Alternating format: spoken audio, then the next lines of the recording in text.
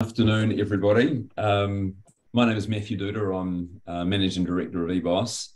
Welcome to the first part of uh, our series on uh, BPIR regulations, which come into force in December this year.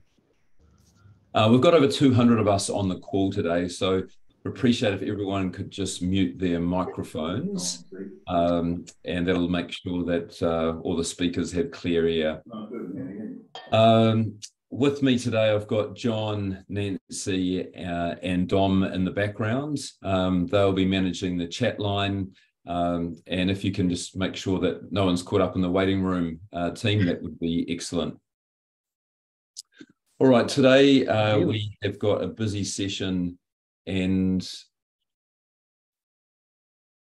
we should get straight into it. So over the next three weeks, we have an objective to provide some real clarity around these new regulations um, and make sure that you're aware of all the support that is available uh, for you to complete your BPIR disclosure statements, uh, which will be enforceable as of December this year. Uh, with that in mind, um, we have three 60 minute sessions and not only are we going to provide an overview, but we are going to take you through the particular sections of the disclosure statements for you to draft and develop your own. Again, we um, got some audio, including our very own software that is available. Uh, I think as a, as a industry, the supply network needs to see this as an opportunity to provide good quality, really technical information to consumers of our products and so we'll be reiterating what best practice looks like uh, and how we can best achieve that. Uh, today, we'll also talk about um, what happens after December, um, particularly around the enforcement powers. So, how these regulations will actually be managed in the market. And we'll provide some um, clear questions to your answers. Many of you have contacted us in preparation for this session to go over the uh, to you know to to go over the um, particular details around how um, compliant what compliance should look like. All right. In terms of um, our outlines over the next three weeks, we'll have one hour session every Tuesday at one o'clock. We'll be running on Zoom as we are now. Um, if you do have questions, um, I hope you're all familiar with chat functions, so we won't be taking raised hands or verbal questions. You can just use the chat function, which we're constantly monitoring. Uh, at the end of uh, each session, uh, we'll have some to-dos, um, so some preparation for the following week. And um, with that in mind, if you've got, um, if you feel you miss anything, after each session, we'll be making um, the recordings publicly available on the EBOSS website. And our intention is that at the end of the three sessions, you will have developed your own draft disclosure document. With that in mind, um, today we're going to be just going over the BPIR uh, regulations. Now, our expectation is that you are obviously aware this is happening, that also you've read the um, guidance documents that the MBIE team have put out and also had a look at the exemplars and templates. So we won't be covering that in any detail. We're looking at um, specific questions that have been uh, we've fielded over the last few weeks. Next week, we'll be uh, looking at how building products relate to the building code, in particular, how to clearly state scope of use and conditions of use and identify performance clauses that you should be referencing within your yeah, that's fine. Documents. And finally, in session three, we'll be looking at um, finalizing your document, um, in particular, looking at the um, contact details, lots of questions around details around the manufacturer as opposed to the importer or New Zealand distributor, and how you should actually be presenting and uh, importantly maintaining your documentation. So that's over the next three weeks. And today um, we'll be covering off um, the general requirements um, and enforcement, who in fact is uh, impacted and who is excluded, uh, we'll be uh, looking at our software and questions. So that's really our agenda for today. So uh, to, kick off, I'd like to introduce um, Uh, we've got some senior members of the MBIE uh, team, and uh, Lisa, Andrew, Gabrielle, and Hayden. Welcome. Thank you for your time this afternoon. Um, firstly, can we just talk to the um, timeframes we need to be acting on? Gabrielle, um, hoping you can cover uh, this and also uh, we can look at our uh, exemplars or just reference the templates that are in place. Excellent. Um, thanks, Matt. So timeframes for our information and education program. So we've actually broken it here at MBIE into three phases. So the first phase is awareness, which we're in at the moment, July to August 23. And the key message is that we'd love you to go into building.gov.nz forward slash BPIR, and you should be able to find everything you need to comply with the building regulations on that um, on the page. We also, um, at this awareness stage, are encouraging people to go into building.gov.nz to subscribe to our site so we can keep you updated on any information regards to BPIR over this um, time period. Um, phase two is education, late August to late October, and phase three is urgency, late October to early December. And then on the 11th of December 2023, the new regulations for building products information will commence. Great, thanks, Gabrielle. Um, Lisa, can we um, can I hand over to you now in terms of thinking about that sort of I suppose, more specifics around the overview and also the enforcement um, plans. Yes, that's quite a good segue for me actually, because um, I just I'm just going to give a wee bit of a scene setter again, um, and just leading on from what Gabrielle said. It's really important to remember that the regulations only apply to um, designated building products that are manufactured in or imported into New Zealand on or after the 11th of December 2023. So that would be my first point. And then thinking about where that onus lies, it's on the manufacturers and importers to collate and produce the required product information and disclose it online in a way that is free of charge to the public. And it's your responsibility to decide if the regulations apply to you and your building products, and then to decide what class your building products fall into, whether that's a class one or a class two. And the best approach for you to support this decision making process is to follow through the steps that we've got in our guidance, as Matt, both Matt and Gabriel mentioned. We step you through those different steps to making that decision. It's also probably timely for me just to remind everyone about Section 14G of the Building Act, which outlines your responsibilities as a building product manufacturer or supplier you're responsible for ensuring that the product, well, if installed in accordance with the technical data, plans, specifications, and advice prescribed by the manufacturer, comply with the relevant provisions of the building code. And a person who supplies a building product is responsible for ensuring that they comply with the building product information requirements from the 11th of December. You're also going to be responsible for keeping that building product information up to date and that includes updating information to address any relevant material changes to the regulations, building code, compliance pathways, or significant changes to the product. And, and you can have a look at page 19 of our guidance regarding that versioning of, of your product information. So you'll be wanting to work with retailers and distributors to make sure that information is disclosed when the product is offered for supply for class one products and for class two products that it's disclosed before the products are available for order by a client. You cannot supply, sell a product that does not meet requirements. So moving on to enforcement, um, I actually work in the building system assurance team at MBIE. So my primary focus is around compliance and enforcement. So um, I've got my little compliance and enforcement hat on when I talk about this. So we're going to be responsible for enforcing these requirements from the 11th of December this year.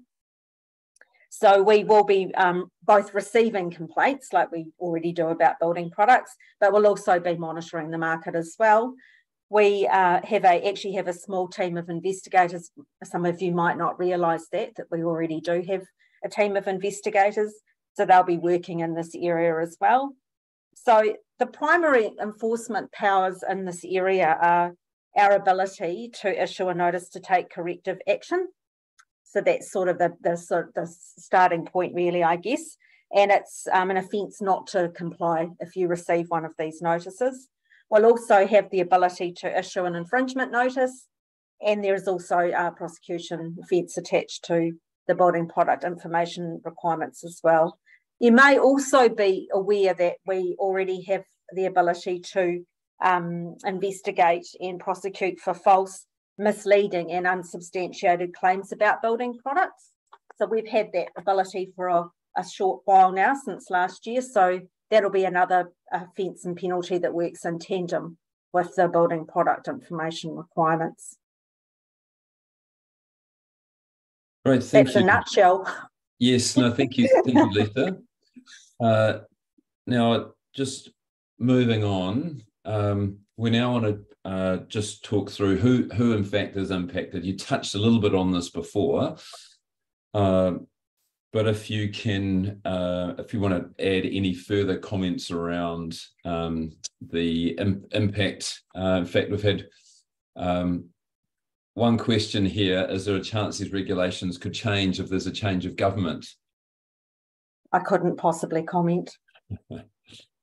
It would take take them a while to actually be able to extract this out of the building code. So I suggest that would that would uh, take a quite a quite a while. So um, now, in terms of just the, is anything further around the criteria of um, meeting the uh, the, or the, the BEPA criteria, I should say?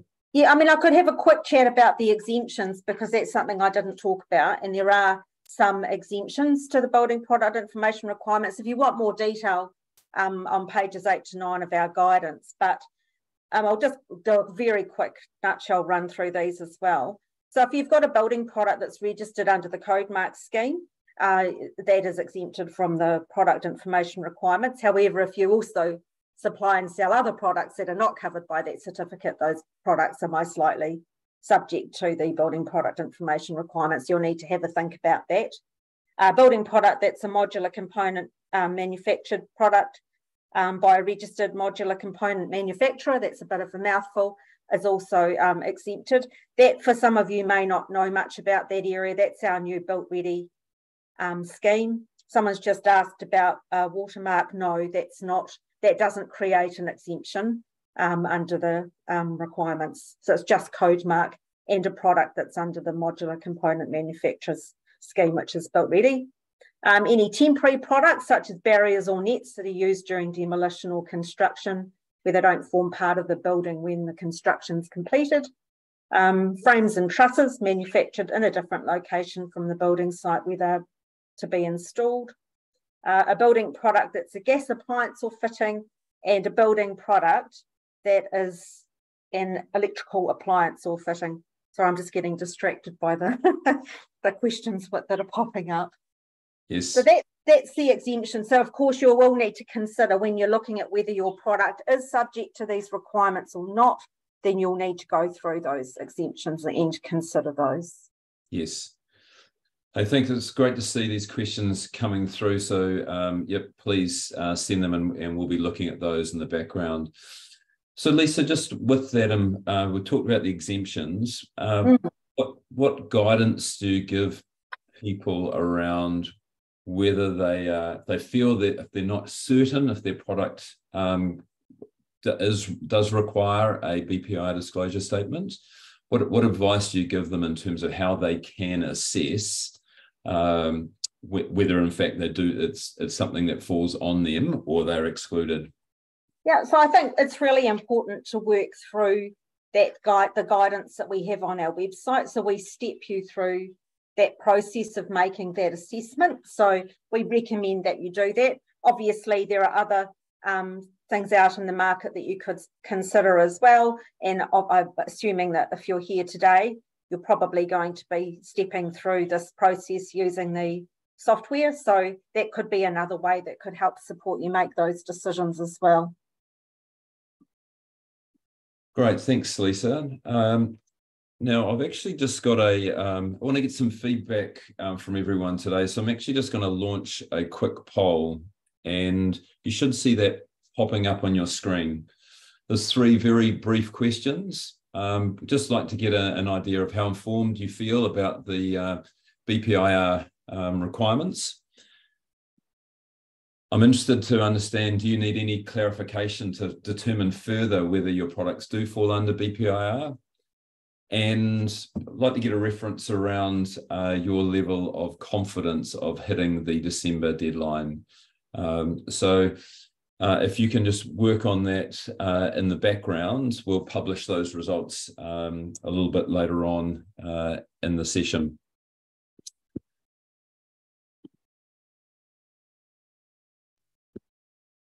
All right. Okay, in terms of uh, the next step, you should be aware that uh, on the MBIE website, there are templates for you to use, and there's actually exemplars as well, both for class one and class two products. There's plenty of information there around um, uh, what uh, what constitutes class one and class two. Um, so um, that's your first port, port of call. Over the last uh, three and a half years, EBOSS, in conjunction with John Gardner, who is the ex determinations and insurance manager for Department of Building Housing and MBIE, um, have put together some software to uh, really assist um, people who are less familiar with code compliance and um, and disclosure documents.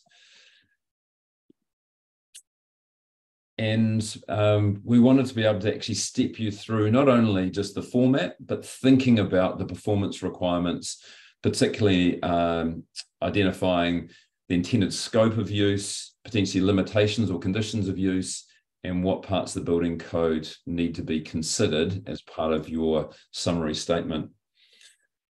So we've developed a step-by-step guide with um, tips and examples. Uh, we believe we've covered a lot of categories, um, product categories, um, and we'd like to just spend 10 or so minutes just to show you how that software actually works uh, and how you can use it.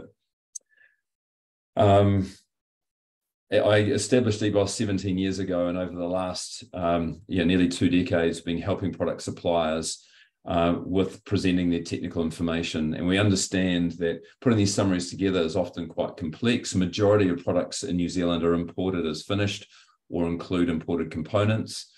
Uh, so often suppliers in New Zealand have not had a lot of experience in providing compliance uh, documentation.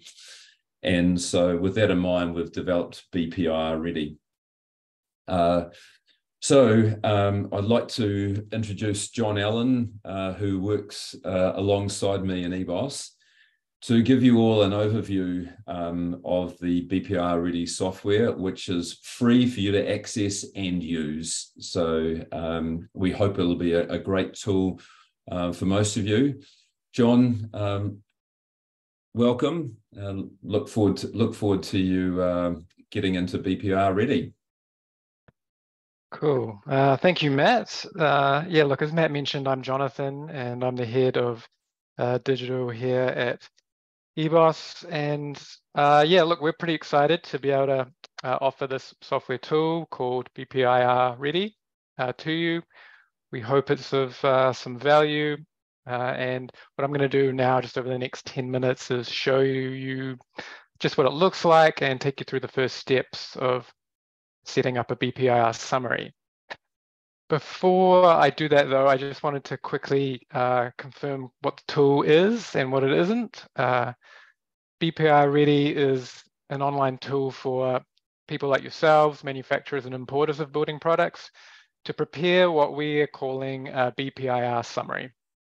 You might call it a BEPA summary if you want. I'll, I'll forgive you there. We like both.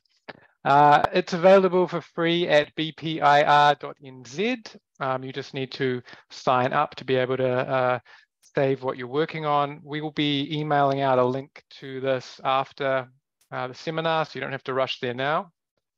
Uh, and what the tool does is it helps you put together the relevant BPIR disclosure information for your product uh, with a little magic sauce. So what Matt was mentioning, it uh, generates relevant building code clauses and specific writing tips for your type of product. uh, using our category system. So it's almost like you had an all-knowing, omniscient consultant uh, like John Gardner, who we've worked with, at your side. Uh, in terms of what it's not, I just want to make it clear that BPIR Ready is not a public repository or database of this product disclosure information. So the summaries that you work on here, they're private, they're secure to your login, uh, and just think of it like you're creating draft disclosure information that you can then take away at the end and publish yourself uh, you know, as you see appropriate. So uh, let's get going. Uh, mention the domain name bpir.nz. Uh, I'm at the get started uh, step here. I've kind of clicked the button. You can uh, sign up if you're not, uh, if you haven't signed up. Uh, I'm going to uh, hit the create a summary link here, but we do have a few other pages on the website um, that give you a bit of an overview of the regulations, some FAQs. I see some of you sending through some uh, questions in the chat line now. Maybe we're covering some of those, hopefully. Uh, so check out that information as well. But right now, I'm just going to take you through uh, just the first steps of creating a summary. So I've already signed up, so I'm going to log in. And we're at the first step of the tool, which is choosing a category. Uh, over on the left, you can see that there's sort of progress steps, um, the remaining steps we have to go through uh, to complete our uh, summary. And in the select category area, this is sort of where you start off and choosing uh, one of these categories from our, our, uh, our set. Like Matt said, we think we're covering uh, most major products here. When you choose one of these, it's going to apply a bunch of building code clauses, which you can see here, a bit of a definition of what the category covers, what it, what it doesn't cover. And when I toggle this show more details, we can see that uh, this is uh, automatically applying a set of clauses from the building code that are relevant to this category. And what it's also going to do further on is it'll uh, generate some specific tips for the written sections of the disclosure information. So your product description, scope of use, conditions of use. Now, if you can't find an appropriate category uh, for your product, uh, we do have an uh, other category that you can uh, utilize. This isn't going to generate any building code clauses, but you can still uh, go through the other steps of the tool, fill in the written sections, and we actually have some generic writing tips for those sections um, that could probably help you out there as well. For today, I'm going to go with uh, wall cladding. And I'll move on to the next step, uh, which is just asking me a few questions about the product suitability for additional applications that are going to influence these building code clauses uh, for my product. So not every category will have this, but most do. And based on my responses to the questions, the tool is going to append some new building code clauses or remove some of those default ones on the cladding category. Uh, we're on no by default. Um, so this category cladding has two questions. Uh, is the cladding, is my cladding product suitable to be used on walls closer than one meter to a relevant boundary? I'll hit yes there. And if I just toggle show more details, I can see that it's going to append the clause C3.7. So that's relating to fire. Uh, I'll do the same with the second question uh, relating to uh, the wall height that it's used on we can see again, it's another um, C3 clause that's being appended there because I've answered yes uh, to that. We've also got a few um, definitions uh, of terms, as you'll see as you move through the tool. So uh, you can toggle over uh, those underlined words and you get a bit of a definition um, from uh, building code or uh, some other terms we have in there. So yes, yes, I'm continuing. And we're now at the product name step. So I can choose what class my product fits into. um, we have a bit more information on that if you're un unsure. Um, cladding is a class one product, so I'm going to choose uh, that. And I'll uh, throw in a fictional one here. I've been watching the Arnie uh, documentary on Netflix, so I'm going to go homage to his first film, Hercules, Hercules Weatherboard, and I've got a product identifier here um, as if it's a model number uh, for that product. I continue on. And we're on to the uh, step where you write your product description. And this is where we start to see the writing tips come into play. Here we have a bit of information at the top about what a description is and what it isn't from the perspective of um, BPIR. And as I scroll down to green here, uh, what we also have are some specific writing tips based on my selected category of wall cladding.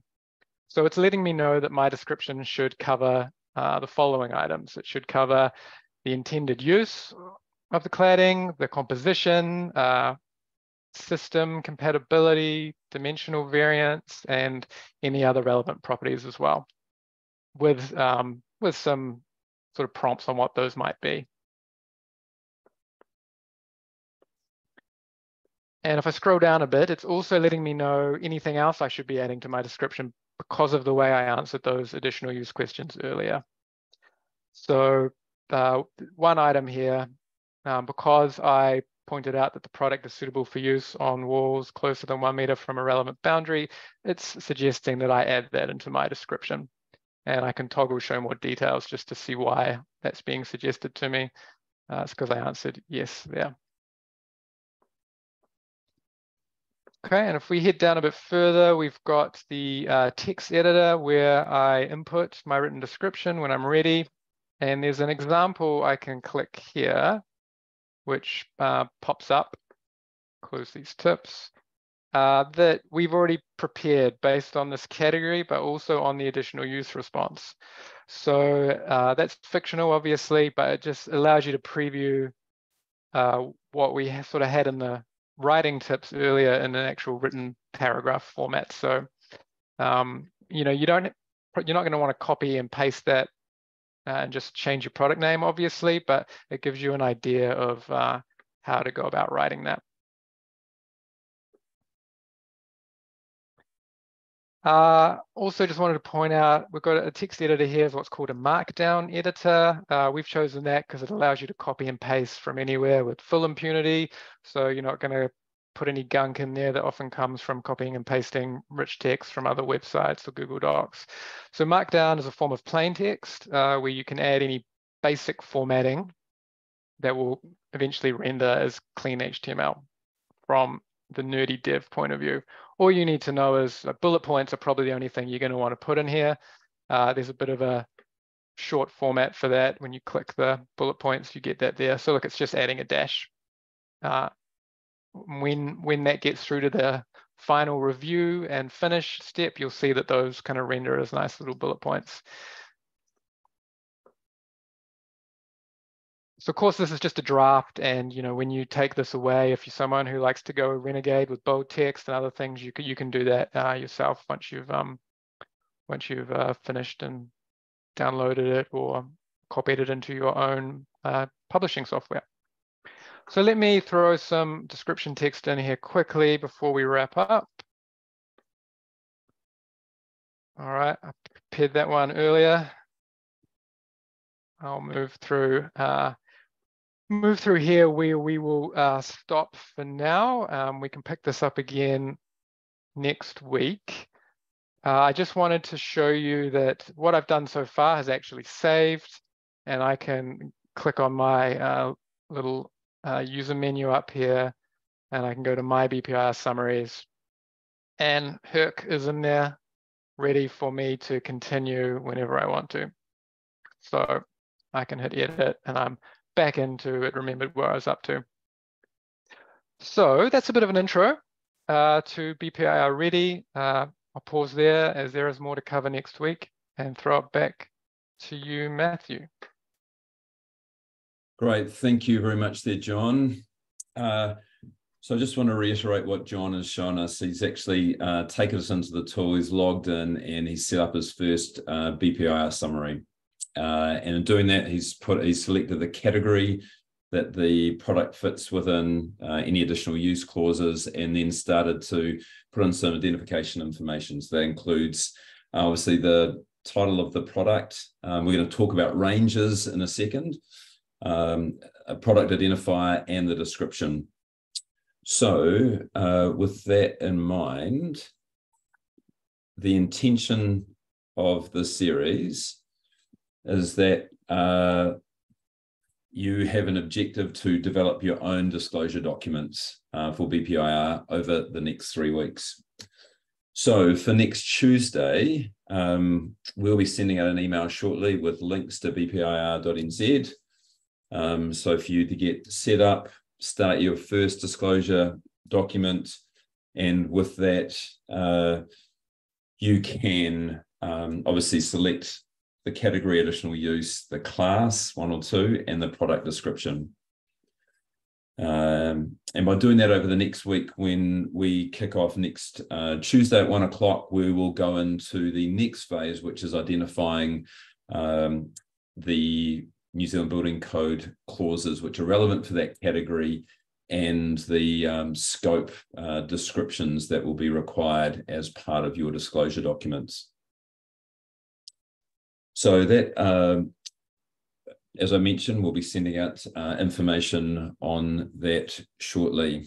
Now, a few questions that have come through, which I just want to quickly detail. Um, as I mentioned, uh, BPIR Ready is free at bpir.nz. Someone's just um, asked, I've just tried to join, it says a monthly membership of $15.80. Um, no, we're not trying to um, scam you here. I think that must be bpir.com. Um, so there'll be some other websites. So please make sure you go to bpir.nz uh, and you will never be asked for money. So um, I can it's free for you to use. Question from uh, Dan, are we responsible for updating um, with regards to building code regulation changes?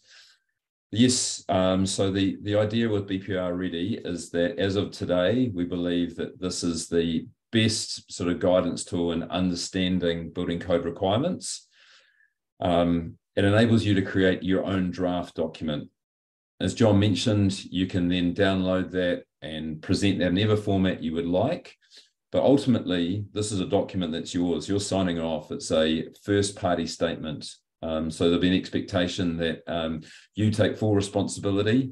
We're really here just to help guide you to a um, to a point where you can actually then determine all that information and sign it off um, to your requirements.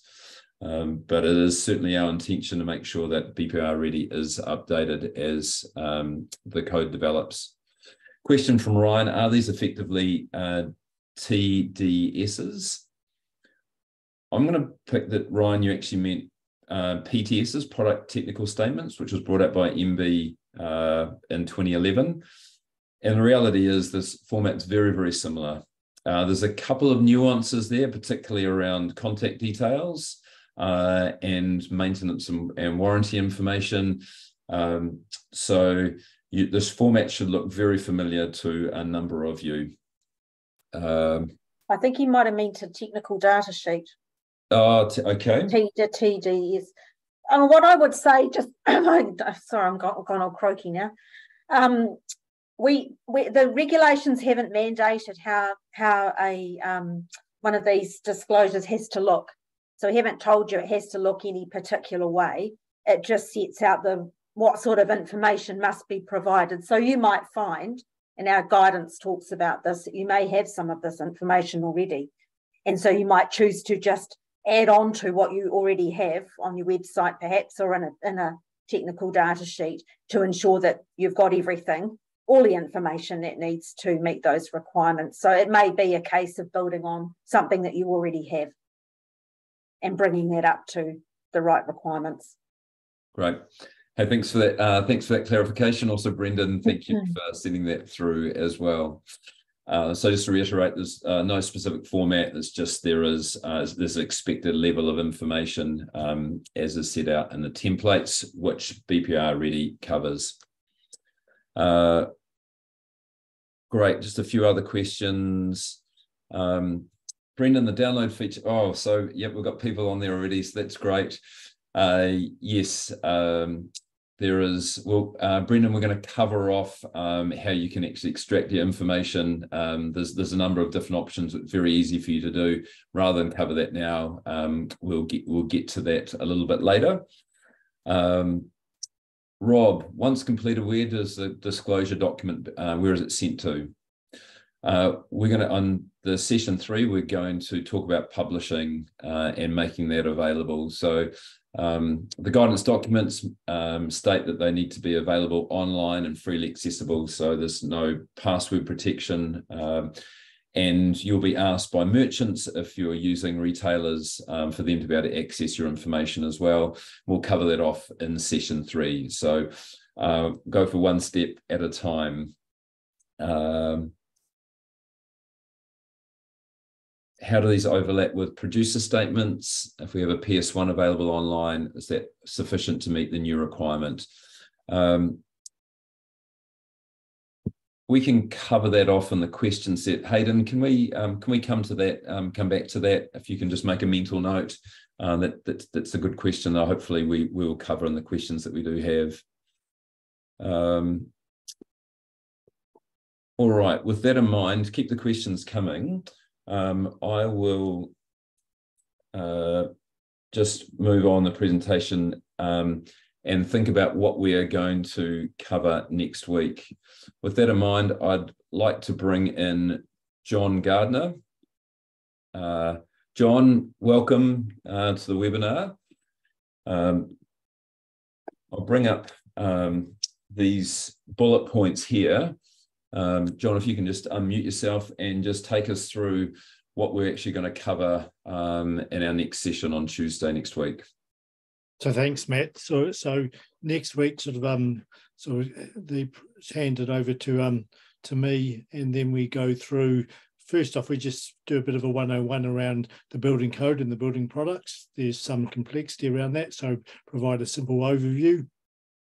And then we sort of go back into the to the tool um, and sort of take over from where John left off, Jonathan left off a few minutes ago, and then just talk you through about how you establish the scoping conditions of use for specific building products. And as we sort of you've seen a little bit of exposure before, we've got some hints and some suggestions around that.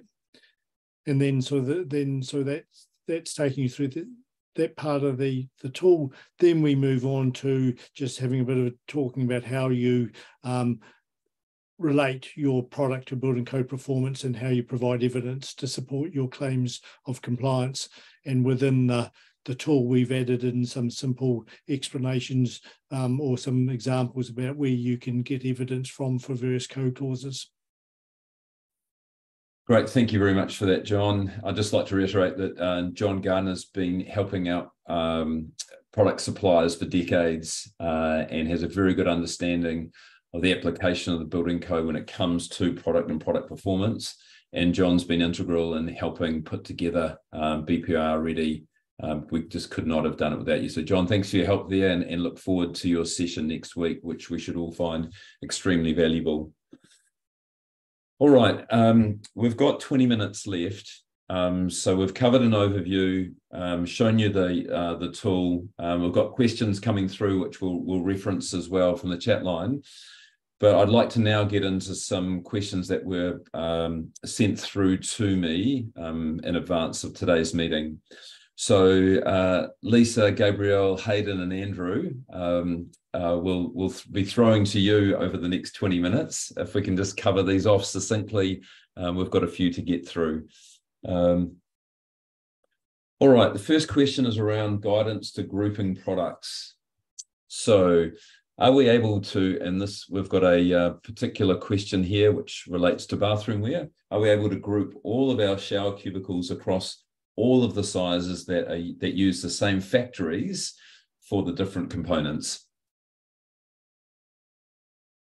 Um, I can talk about uh, grouping. Um, uh, if you have a look at our guidance on page 21, there's some information there about how to go about that. And I think probably the thing that is important to point out here is you will need to ensure with your, these various products that they all, when you're grouping them, they share the same, um, I guess you could call it technical information, so the same code clause, um, requirements, installation instructions, that sort of thing. I think it's also important to remember that the purpose of these, the product information requirements, is to help people make informed decisions about building products. So just remembering the end user when you're producing product information to meet requirements, that BCAs will be using that information when they're processing consent applications and specifiers will be using that information to compare between products and helping them make decisions. So you want to make sure that the information is, is is able to be well and easily used um, by these different people. So where it might make sense not to group them because it's not easy to follow, then that might be a reason to think about that. But yes, like I said, if they have um, similar um, or the same technical um, information there, then yes, those can, could be grouped. Great. Thanks, Lisa. All right. Um, moving on here. Uh, just taking a, a, quote from the regulations, they only apply to building products that, when used in building work, may affect whether the building work complies with the building code. The guidance also states products that are bespoke, one-off products are not intended to be captured by the regulations, i.e. products that are not based on a product line and are produced for a specific project. So what does that mean for kitchen bench tops as they do contribute to G3? Okay.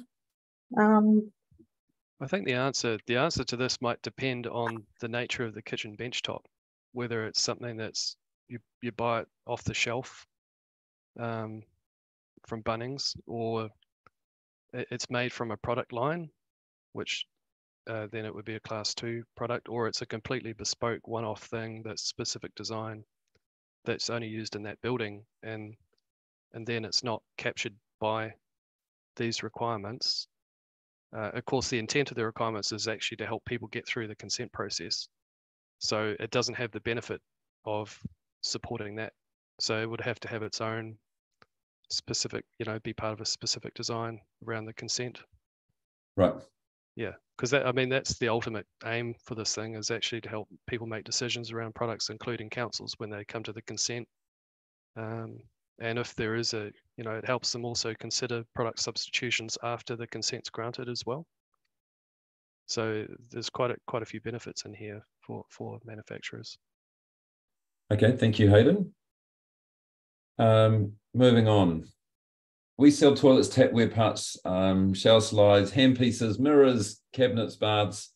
Um, this will be uh, familiar for many of us that um, have a wide portfolio of products. Um, we service commercial, retail, and domestic purposes. Of the thousand products, how should we best determine what products fit under BPIR and require a disclosure statement?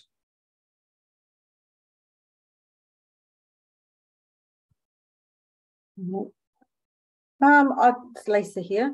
Um, I would again work through those steps in the guidance. It, it steps you through each um, stage of the process and again, if you are uh, considering um, attending the seminars to use the tool, by the look of what's happening with that, um, I would expect you um, can get some support from there as well. But that guidance for us is, is very comprehensive. So work through that. I think that's on page eight, isn't it, Lisa? Somewhere around there. I think the... it is. Yeah. Yes, yes. It's very early on in the guidance document. Yeah, and um, for those of you that have very specific product questions on session three um, with uh, uh, Lisa, Hayden, and, and Connor, may, I will come back and join us and we can cover off any um, further specific category questions that you may have. So um, if questions do arise over the next couple of weeks, um, it'll be great to have the MBIE team back here with us. Um, all right. So, uh, Lisa, you covered the fact that this applies to products um, that are um, stocked after the 11th of December. That's correct. There's a question here. I'd like to know if there's any grace period for slow moving stock. So, can we just clarify if this stock that sits that's on the shelf as of the 10th of December, it does not apply? That's correct. The requirements don't don't apply, and it doesn't matter if the stock's slow moving.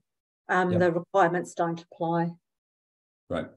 So if you're thinking about putting in um, uh, references or information on your packaging, it's really for product that will appear after the 11th of December. Um, you don't have to retrofit any packaging for a product that's already um, in stock.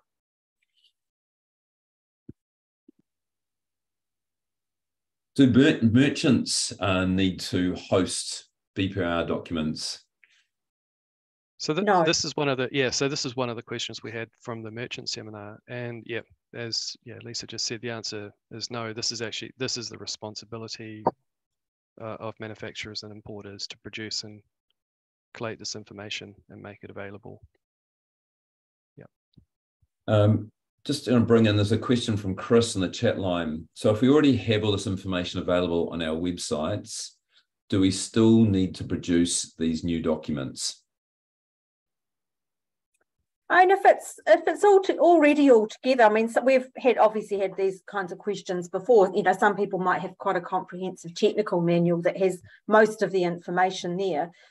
There's probably some bits that um, you won't have. For instance, part one of the requirements is to make a statement as to whether your product is subject to a warning or a ban. See, most I, I, I don't wouldn't think obviously MBIE's only ever issued one warning and one ban, so it's most likely the answer there is no.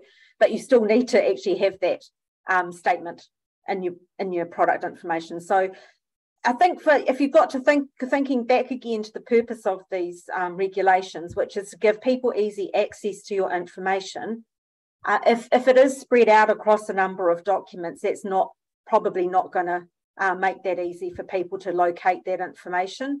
So taking the opportunity to perhaps centralize that information or build on. You might have that technical manual building on that with the bits you don't already have could be a way of, of dealing with that too.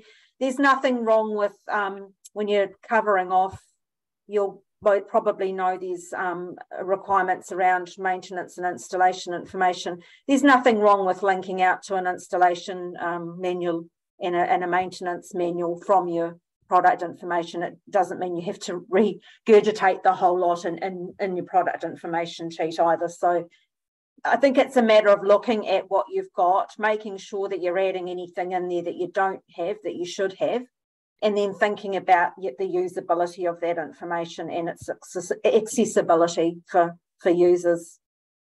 Does anyone else have anything they wanted to add there? Oh, Lisa, I just want to clarify that, that effectively what, what you're saying is that um, you, you're not uh, caught up on what the document is called. No, and we're not, not caught up on what it, what it looks like. We're not telling you, or we're not giving you a, a mandatory template that you have to put it into a mandatory template. So we haven't done that. Yep. So if you can um, if if you can just point to a document which covers all of the required information that's laid out um, to um, you know that's expected as a disclosure document, then that's absolutely fine if that already exists. Yeah, if it meets requirements, and that's up to the manufacturer or um, importer to ensure that is that it does meet requirements. Yep, yep. Uh, Matthew's got a question here. Will BCAs have to accept the BPIR or they ask for third party uh, verification? Uh, my understanding is a BPIR is a, is a first party statement. Will um, they, they will absolutely ask for further verification as they do with the PTS at the moment. Um, what, what, whatever they deem as um, you know as an acceptable compliance pathway is what, what they'll be looking for. That may well be a BRANZ appraisal or CodeMark, uh, producer statement. Um, so my understanding is a BPIR disclosure document would not meet those requirements. It, yeah, it's not it's not the same as a CodeMark um, certificate, but I think the intention is um, that when you put the evidence around how your your product, uh, how you contribute to co-compliance within its intended use, and that could be referenced to like a watermark um, certificate or something like that. it should actually reduce the the intent is it should reduce the request for additional information. That that's why we specify the fields in the way we have in the uh, the content um, to try and reduce that re request for further information from councils. Okay, thanks, Hayden. Yeah, but it, it's not the same as a CodeMark, no. I'll just I'll just keep going. Um, we've got quite a few questions here. Um, our intention is to finish at two o'clock. If we do go over slightly, for those of you who do have to leave, um, we'll have a full recording of this available this afternoon from five o'clock. Uh, but for those of you who'd like to stick with us, feel free to do so. Okay, next question. How long do we have to provide access to a BPI disclosure document for a product we have previously sold but is now uh, obsolete or no longer stocked? Yep. So, uh, so if a product is superseded or taken off the market, I think manufacturers and importers will need to consider how they communicate and manage that information going forward. In our guidance, um, we suggest that manufacturers may want to keep this information around for up to 10 years. Uh, that's because that is the length of the implied warranties in the Building Act. But that's just a recommendation uh, and it's not actually a requirement of the regulations. Uh, it's just a suggestion to consider those implied warranties in the Act. Yep. Okay. How often will the BPR documents need to be updated? Yep. So uh, one of the responsibilities under the, these regulations is that they need to be updated for the current version of the product or where there's some changes to uh, manufacturer details. So that the responsibility is on the manufacturer to update them when those changes happen. Great, thank you.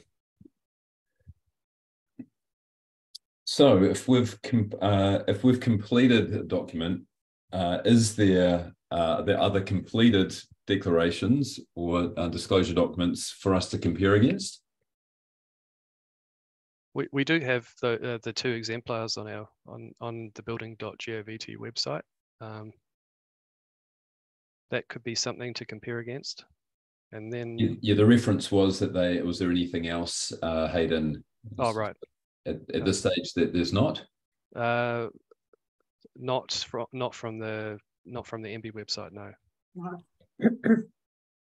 okay, uh, and is there somewhere to submit my draft declaration for checking to see if it complies? No. No, no, not for MBIE. There's not. No, we won't be. Um, we we just don't have the um, ability to um, to offer something like that. We're a very small team. Our focus is on monitoring and enforcement after the 11th of December. Okay, um, let's just keep going. I'll, I'll, now just dip into the questions from the chat line. Um, is there a possibility of the deadline being extended? The, do you mean the 11th of December deadline? Yes. To shift it? No, no, no, that's set in, in legislation. Okay.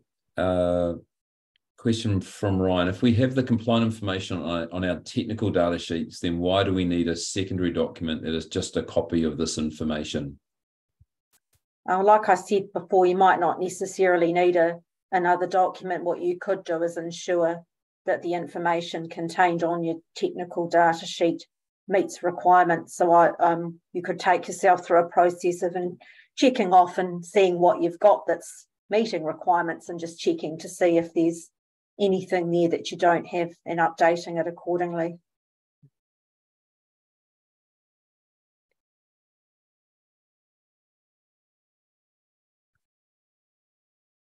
Okay. Um,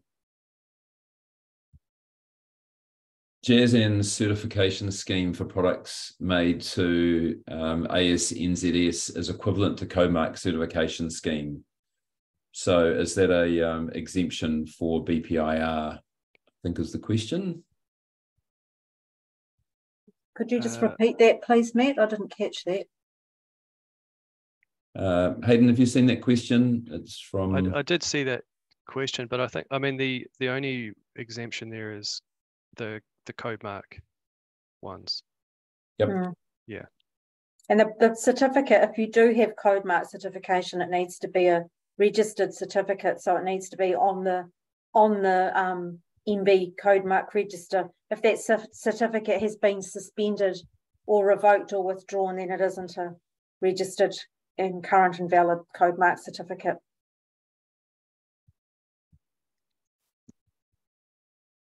Okay. Um, there's a uh, there's a question around um, if we uh,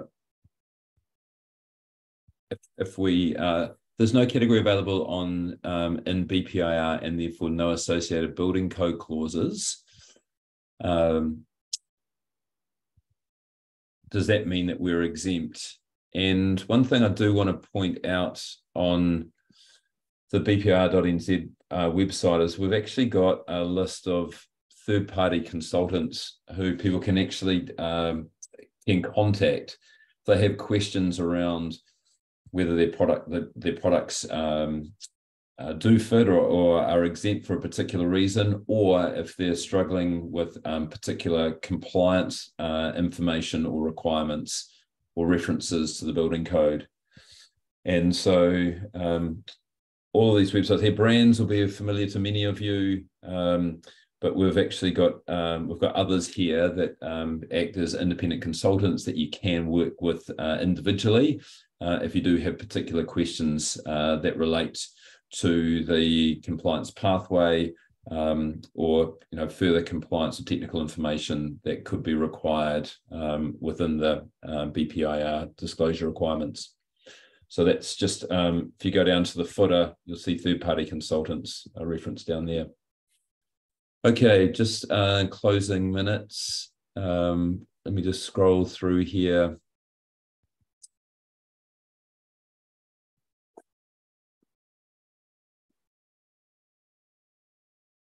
If we group products together, e.g. various sizes of the same product, what is an example of product identifier?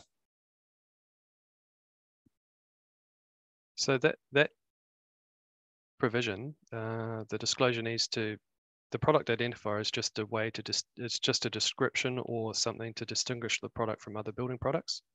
So that, for example, in that that example that we went through earlier, I think we had the Herc, Herc um, weatherboard thing. Yep. But I mean, for some other products, I think we, we haven't really touched on it. It could be, because I think it was a question, could a barcode be a unique product identifier? And yes, it could be, uh, or a GTIN number. Yep, those could be unique identifiers as well. But we've left it up to manufacturers to, to determine how they want to do that. I think you could list a limited number of unique identifiers. Yeah, if there are three sizes of shower trays, you could have three unique identifiers. I don't see a problem with that. yep. Okay. Thank you, Andrew. Uh, question, this covers products as intended cover of installation of that product as well.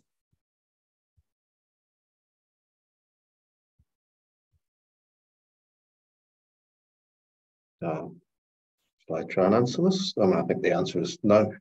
Installation, this is about the product itself, essentially as it comes off the shelf and not about the installation.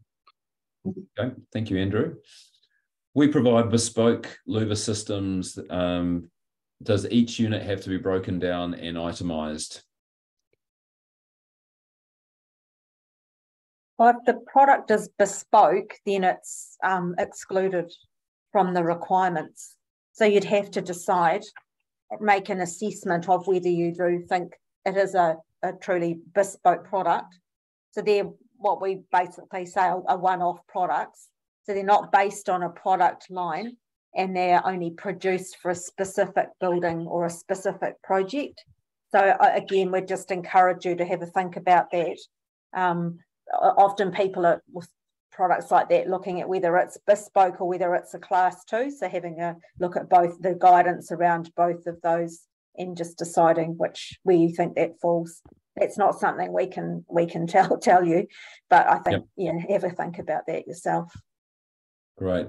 I do see that it's uh, just clicked on to two o'clock. Um, it's it's a rare opportunity for us to have the MBIE team here, so I'm just going to keep on going and ask um, asking questions. Um, as I mentioned before, this will be recorded if you do need to shoot off. Um, otherwise, um, we'll keep going. Um, does this apply to products sold overseas as well as domestically?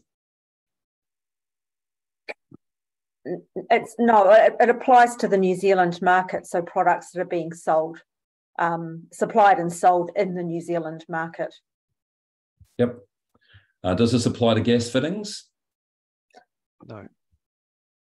So No? yeah, so no, so uh, clause seven of the regulations talks about excluded products and electrical and gas products that are covered by the Gas and Electricity Acts and regulations are not covered because they're already covered by those other regulations. Okay, uh, grace period uh, we've talked about. It's uh, enforced as of the 11th of December. No extensions. Uh,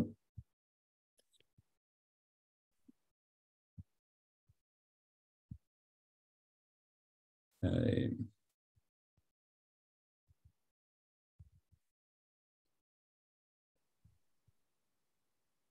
Will MBIE chase up suppliers who have yet to comply?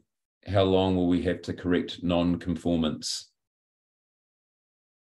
Well, that's a good question. I mean, our obligation um, is to enforce these, monitor and enforce these requirements from the 11th of December. Um, I mean, other than that, I can't really comment. That's just that's just um, how it works. Um, question, how do we access today's recording? Um, as I mentioned, we'll be sending out uh, an email post today um, and that recording should be available from five o'clock this afternoon. Um, question from Dave, if electric fires and gas fires are exempt, um, what about wood or bioethanol fires?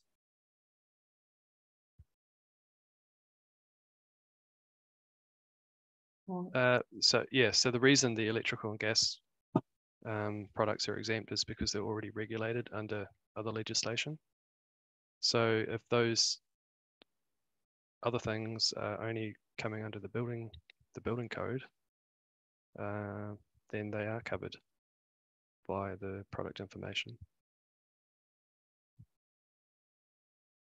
Uh, we've got some um, specific kind of uh, examples here. I might might leave actually until um, our third session. Uh, there was a question here from Murray that I would just like to bring up. Uh, we import window joiner from Europe. It's all custom made and bespoke uh, to every home. Is enough to disclose information to client, or does it need publishing on a public website for every house lot we bring in?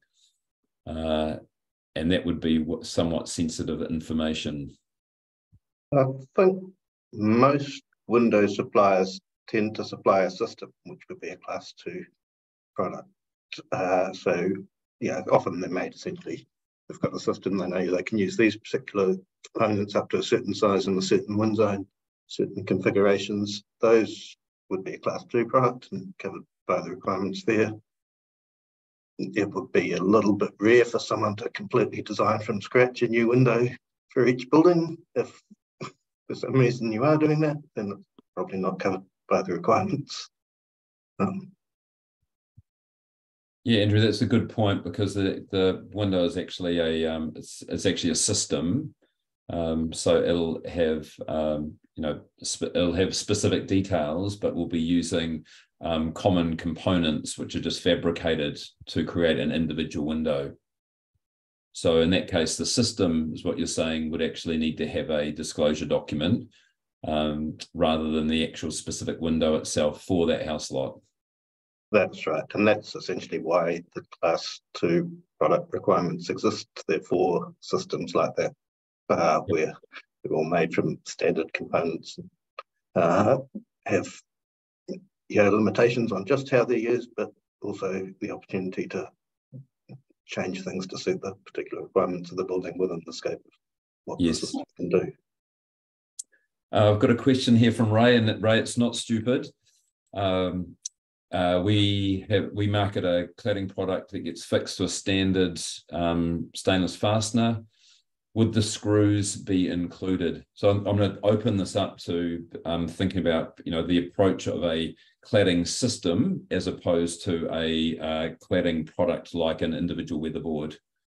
Hayden, would you like to respond to that? Yeah, so yeah, so we, we, we are aware that there's some products that are intended to be used together as a system.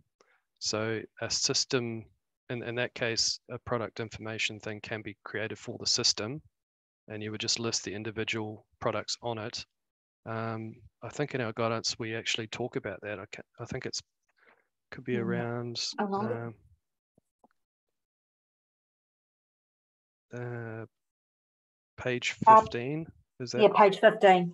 So the only caveat there is considering whether the, some of the components are intended to be used separately from the system. If they're all, if they're intended to be used as part of a system, like a spouting system where the join, the joiners are intended for a certain spouting profile and the downpipes, you can have one product disclosure for that whole, for that whole system.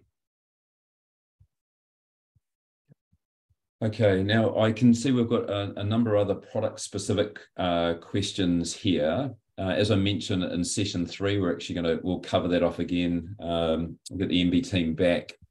I'd like to just um, finish by sharing our poll results. So uh, let's let's um, have a look at feedback from everyone. So how informed do we feel about uh, with regarding the BPIR? Uh, so we can see that um, I hope this session has been of value. Um, seems like we're, we're growing uh, in our understanding and interpretation of these new requirements. Um, majority of you having some understanding um, or a little. Um, so this one's interesting and it, it, points to the questions that are coming through, uh, clarification around your particular products and how they fall under these regulations. Um, so a quarter of you are clear, uh, rest of you are either not sure or do. So um, we'll we'll try and um, enable another session like this to be able to um, assist you with that uh, interpretation. How confident are you to have your documents ready by December? So a few of you um, uh, have got quite a bit of work to do. Some un, uh, and then really uh, it seems like there's a, a fair degree of confidence um, that I'm unsure, we should really take this um, poll um, once we complete session three and see if that uh, confidence has in fact uh, increased. Mm. Uh, right, so in terms of summary for today, the purpose was to actually bring us together, um, be able to go over quite specific questions that relate to us as the product supplier community around how we can best um, meet these requirements. I hope that we've uh, there's an understanding that the if this information already exists in a document that meets all of these requirements, um, then hopefully this should be a straightforward job for you. Um, we've referenced the fact that there are some tools available, BPIR Ready, which we'll send a link to shortly. There's consultants available in the market. And if, um, Lisa, if people actually have questions to, and want to correspond with MBIE directly, how do they do that? Yes, so we have a, a small team here at MBIE who are working in this area and we have our own um, inbox. So we um, obviously welcome you contact, contacting us through there. Can I just put a caveat on it that you do make sure you read the guidance first um, because it really helps to narrow down those questions. Um, and you can email us at products, P R O D U C T S, at mbie www.govt.nz.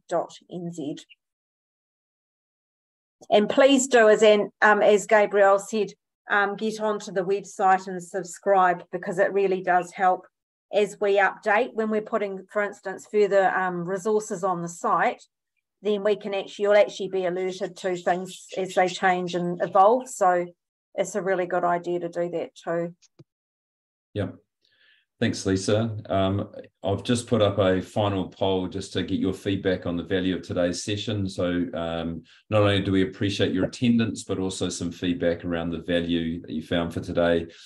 Um, and also um, going forward, if you've got uh, any feedback, uh, obviously Lisa's um, information to get in touch with uh, MBIE if you've got any questions you'd like to relate um, to EBOSS. We'll have um, contact details in the email that we'll send out shortly. Um, next week, um, you've got a little bit of prep work to do. So um, again, uh, we hope you enjoy using BPIR Ready start those um, initial steps for your disclosure document and we'll um, be here with John Gardner next Tuesday to go over those performance clauses and then we'll welcome back the MBIE team in our final session as we look to complete those documents um, and look at any product related questions that still remain. Thank you all um, for your attendance today. Um, all the best of the week and we'll see you next Tuesday. Thank you. Thank you. Bye. Thanks again, Lisa, Hayden, uh, Andrew.